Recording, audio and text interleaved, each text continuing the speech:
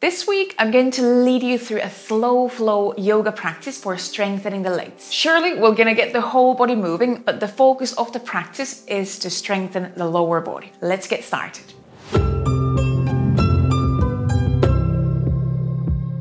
You can do this practice without any props unless you like using blocks under hands in your practice. In that case, have a couple of blocks or maybe a book or a small box that you can use under your hands. For example, when we do twisting lunges or warrior three poses. Other than that, we don't need any props. And we're going to start from standing towards the, the short, the small end of the mat to start our practice. So if you want, you could turn your mat so that the long side of the mat is facing the screen, your device where you can see the practice. That might help you to follow the practice. But whenever you are ready in your space to start your practice, come and face the short end of your mat. And we're going to take a few breaths here in, in our mountain pose, just getting ready for our standing practice and a few times rock the weight from heels to toes, so from the back of the foot to the front of the foot, and then from side to side, from right to left, and a few times circle the weight. So, circling the weight from one foot to the other, from front to back, and change the direction and really feel your toes spreading on the mat, on the floor. So, finding all that surface area that you have on your feet, all that support that you can find, and activation that you can find from toes to soles of the feet, and slowly starting to lift that support to the legs towards the spine. And let's just find Find that mountain pose where you have weight on two feet. And take a breath in and out. And then we're going to shift all the weight onto the left foot and start to lift the right knee up in front of you. Now you could lift your arms up as well, so floating the arms up towards the ceiling. If you feel that shoulders get really tense, you could also bring your palms together in front of your chest. And now slightly flex your toes in that right foot, flex that right ankle. So keeping the foot active. Take another breath in and out. Just testing our balance, testing the weight on that left foot. And then with the next breath, step the right foot far back, arriving into a low lunge. And first, bring your right knee down. You can release the right foot toes as well. And with in breath, press your left foot down, lift your back up, lift arms up, and also slightly elevate the pelvis. So we're not leaning all the way down and forward, but even slightly tucking the tail under. So, trying to find engagement from legs to the pelvis to the spine. And focus on that left foot pressing down, spreading the toes, lifting up through the arch of the foot. Here as well, you might have palms in front of the chest if that feels better. Take another breath in and out and keep that tailbone just tiny bit tucked under. That might give you some opening at the front of the right hip as well. And from here, as you exhale, lower hands down. Now tuck the right foot toes under and then lift the right knee, the right thigh away from the mat. And first, leave your right hand down. So, this is where you could bring a block under the right hand as we twist to the left. You can reach the left arm up. You might even look up and really start to fire the legs. So, now pressing down through that left foot, keep the right knee lifted. And then, with the next in breath, lift your back up and open your chest out to the left side. bring your left hand towards the right thigh or towards the right hip. And inhale, start to reach your right arm slightly up and over. So there could be a small side bend, small back bend. Keep the legs fired. Take another breath in and out. See if you could bend the left knee just tiny bit more. And then exhale. Bring hands down, windmill the arms back down. And now turn your right foot, right heel on the mat. And we're going to inhale again, lift the back up. This time we arrive into warrior two. If needed, you can adjust where your feet are. And we're still keeping that left knee bent. Now we're rotating the left hip open. So see if the left leg knee might go kind of over the left foot toes. Of course, finding that rotation from the hip. So it might be that it's not, it's not the exact same line from the knee to toes. Let's see where your foot, your legs go. And we're still breathing. Take another breath here in and out. And then as you inhale, extend your legs, reach the arms up, and now turn both hips open, so a more symmetrical shape in the legs. I'm gonna come down into the open horse.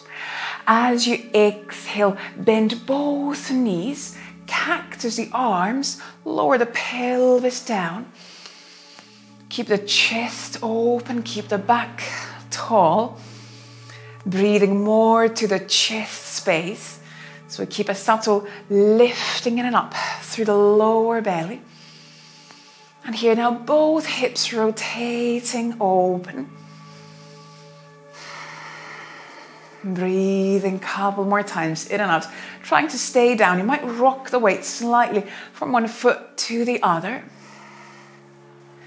And then as you inhale, extend the legs, reach the arms up and we're going to now come into warrior two on the other side. So close the left foot, open the right hip a bit more, and then exhale, bend the right knee, finding warrior two on the other side. And we're breathing here. Keep shoulders soft. Still feel that strength is coming through the feet to your inner thighs, lifting through the pelvis into the spine. Take another breath in and out.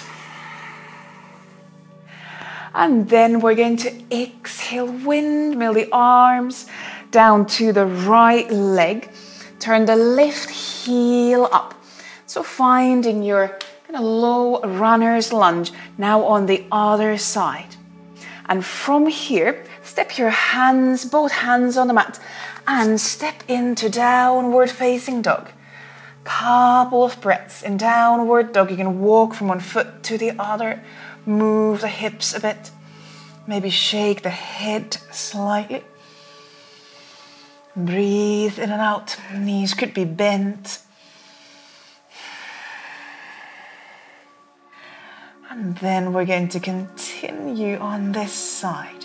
So now we're going to inhale, lift the right leg up behind you, bring the leg about to a parallel line with the floor, keeping the right heel turned up towards the ceiling, the toes down towards the mat. So not rotating the hips open, but keeping hips more in the same level.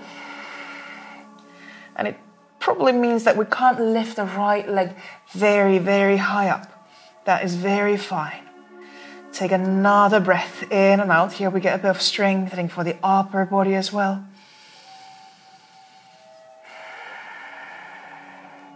And then as you exhale, step that right foot close to the hands. And we're going to inhale, lift the back up, and this time bring palms together in front of the chest. Still keeping that right knee bent. Now we're going to twist to the other side. We're going to exhale, bring the left elbow to the right knee or maybe to the outside of the right knee. And then inhale, twist out to the right side. Could be have, you could have your palms together or maybe just the fingertips together. You can look up. You might also look down if that releases the neck more. Take another breath in and out. And then with your next exhalation, release the twist. Bring chest back to the center and keep the right knee bent. Just lift your back up. Now you can either keep your palms together. We're to come into balancing pose on the right foot. So either keep palms in front of the chest, or if you want to challenge the balance a bit more, bring arms behind the back. You could interlock fingers. And we're going to slowly move into warrior three. So now you might step the left foot tiny bit closer to that right foot. And then inhale, start to slowly shift the weight onto the right foot, elevating, lifting the left leg up behind you. Keeping a long line from head to the left foot. And here as well, you can play with the hips. Are you rotating your hips more open? Or maybe you want to keep the hips in a more same level. Take another breath here, in and out. And then we're going to stay on the right foot and start the flow from the beginning. So bring your back up, lift your left knee towards the chest, towards the belly, and you can either float your arms up towards the ceiling or you can bring palms together in front of the chest. So here we are in the beginning. We're still standing on that right foot. Flex the left foot toes, flex your left ankle, and lift the left knee up towards the chest. Here's well, you can try to bring hips to more or less the same level. It's very fine if the right leg is tired at this point. Take another breath in and out. And then we're going to slowly step the left foot far back. You can bring your hands down and then lower the left knee down. So we come into that low lunge. If you want, you can release the left foot toes as well. Now, right foot keeps pressing down. We're going to inhale, lift the back up, lift arms up, and again. Remember that slightly tucking the tailbone under. So rather than just leaning forward, just tiny bit tuck the tailbone under. And you could have your arms up. You could bring palms together in front of the chest. And the right leg, the right foot, they keep Keep firing They stay very active. Feel even the right foot toe spread on the mat. Again, there might be a bit of an opening at the front of the left thigh, hip. Take another breath in and out. So it's constant work for the legs, for the lower body. Now we're going to exhale Come down, forward, bring hands down, or maybe just fingertips down. Tuck the left foot toes under, and then lift the left knee away from the mat. So you have that lifting through the left thigh. Keep your left hand fingertips on the mat to begin with, and inhale, twist out to the right. Right arm reaching up and then focus on the legs, pressing down through that right foot. We're going to inhale, lift the back up, windmill the arms so that your right hand comes either to the back of the left thigh or maybe next to the left hip. And you can add a bit of a back bend or side bend here.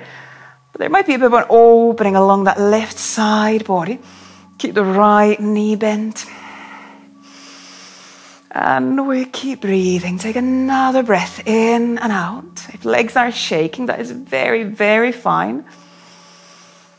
And then with the next exhalation, windmill the arms, the hands down. And we're going to turn the left foot, the heel on the mat. Prepare for warrior two. As you inhale, Windmill your arms open again. You might want to adjust your feet here so you feel you're not twisting from your knees, you're not twisting from the ankles too much. But you have that active rotation through that right hip. And feel the feet, they're equally pressing down and lifting up. Maybe breathing more out to the ribs. Shoulders soft.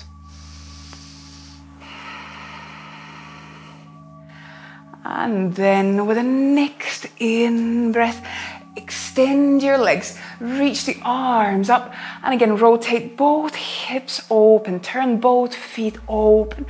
Exhale into the open horse. So bending both knees, cactusing the arms, and still trying to keep the pelvis, the back about on top of each other. So not leaning too much forward Sending the sit bones down, keeping the chest open and breathing.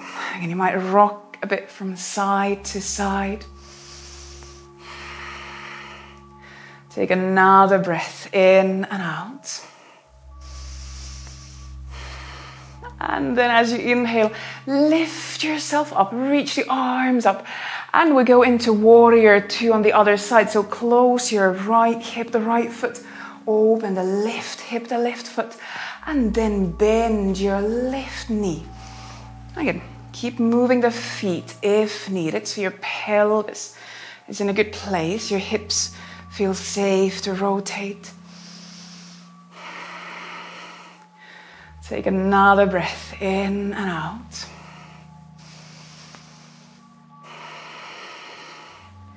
And then as you exhale, windmill your arms down.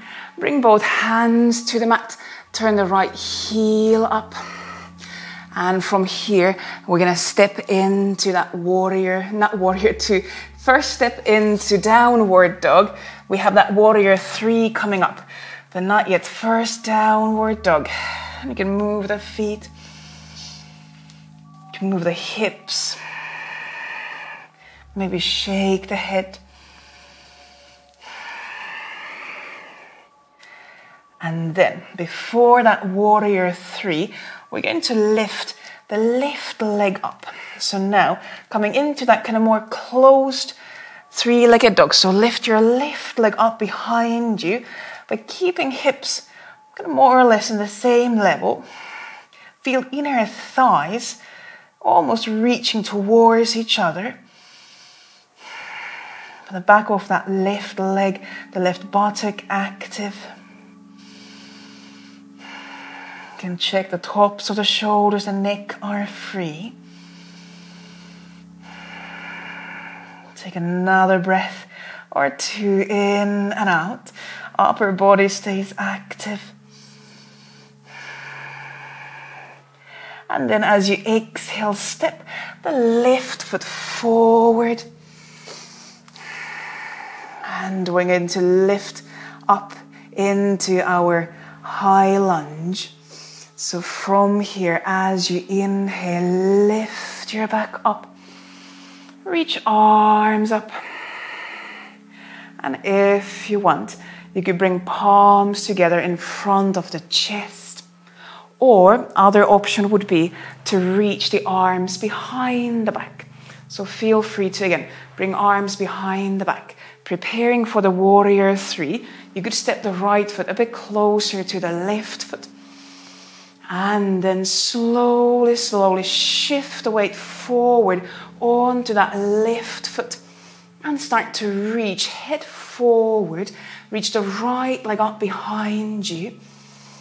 And again, notice what you're doing with your hips. Are you rotating them open? Are you keeping them more closed? standing leg could be bent or you can straighten more the left knee, but keep all muscles active around that knee. Couple more breaths in and out. And then slowly, slowly start to lift your back up. And release the arms. Bring the right knee towards the chest, and this time hug the right knee in. And then release your feet, your arms down. And here we go, rocking from one foot to the other, rocking forward and back. Couple of circles like we did in the beginning.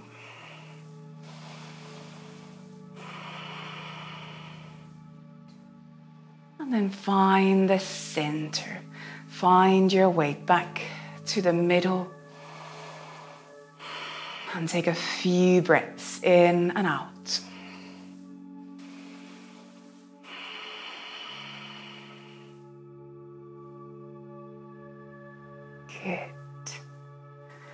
Now, if you want, you could do that same flow again. So, repeating that same flow. Or you might move into a different practice from here. If you want, you might also come down into Shavasana pose, take a moment to rest, or any stretches that you want to do for your legs after this. So, feel free to end the practice in your own way or just continue into further practices, maybe combining this video with another video. Thank you very much for joining in, for trying this slow flow. I hope you enjoyed it. If you did, please give the video a thumbs up and also leave a comment below if, if you liked it or if you have any questions. And share the video with anyone who you think might need some strengthening in their legs. Good, have a great day, and I'll see you on the next video. Bye!